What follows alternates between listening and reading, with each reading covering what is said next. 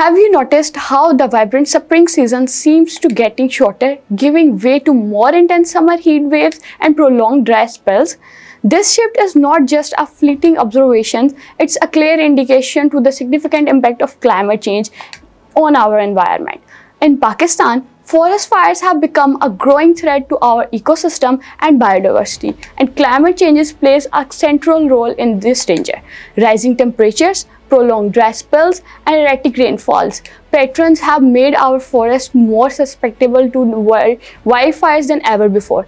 The dry season spanning from April to July have been particularly harsh, with insufficient rainfall combined with the scorching heat, dry heat waves, and lightning strikes the risk of forest fires is in vulnerable areas such as Islamabad Capital Territory, Balochistan, Khyber Pakhtunkhwa and Punjab has increased dramatically. Once initiated, these fires are incredibly challenging to control, exacerbated by different trains, strong winds and thick choking smoke. The urgency to address this growing threat has been greater as our forest and the life has sustained hang in the balance. These fires are also primarily caused by human activities such as uncontrollable burning of agricultural waste, campfires, uh, discarded cigarettes and intentional burning of grasslands which may turn uncontrollable widespread in Pakistan's forests over 4.8% of the country's total land area. The types of forests can be occur in vulnerable forest areas. The one is crown fire which burn trees up to the entire land to the top.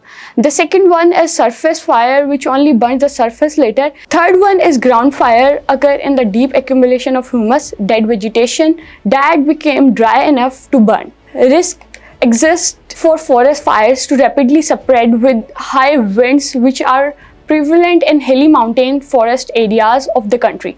In 2024, Pakistan has uh, faced shared forest fires crisis ranged in the various parts of the country, including the capital Islamabad and the Margalla Hills of National Park. In Safad district, the unprecedented 51 incidents were reported compared to only 15 previous years. The fire caused significant damage to forests and widespread habits. In Shirani district, an estimated 90-100,000 trees were burnt, resulting in the loss of 4 billion in annual income of local communities dependent on the Chilgoza pine forest.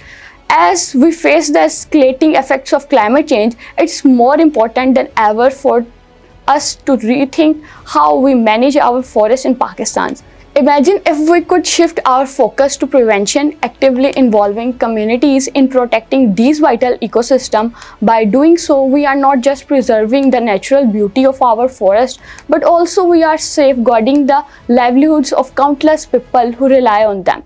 It's about coming together to ensure that our forest remains healthy and resilient for both nature and the communities that call them home.